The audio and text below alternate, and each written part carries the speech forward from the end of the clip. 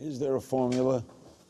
Anybody that says they know how TV works is full of crap, because if they did, there'd be hits every year, you know?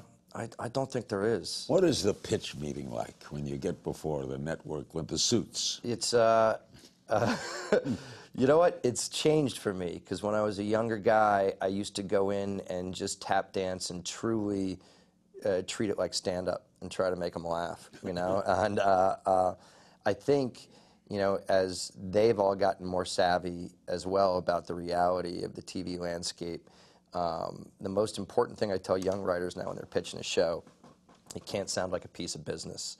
It has to sound like something you're passionate about, you know, and for personal reasons, creative reasons, because you're talking to somebody. Uh, it's probably like you with guests. I mean, you've interviewed so many interesting people. You know, if someone doesn't bring their A game and isn't really engaged, I know that you kind of click off yeah. in your head. So you really have to bring passion to it. Watch new episodes of Larry King Now, Monday through Thursday, on demand on Hulu and Ora.tv.